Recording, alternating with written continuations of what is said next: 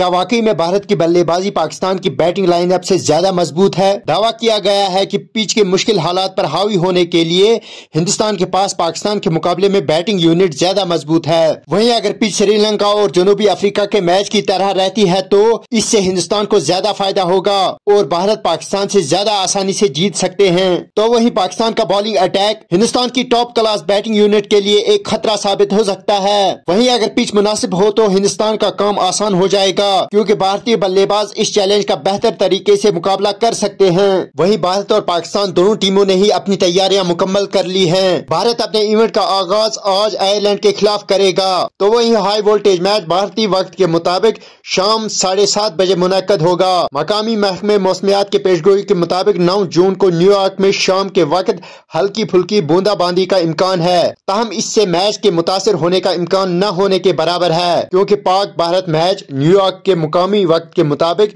صبح ساڑھے دس بجے ہوگا اب دیکھنا ہوگا نانگ جون کو کس کی جیت ہوتی ہے اور کس کی ہار آپ بھی ہمیں کامنٹ باکس میں بتائیں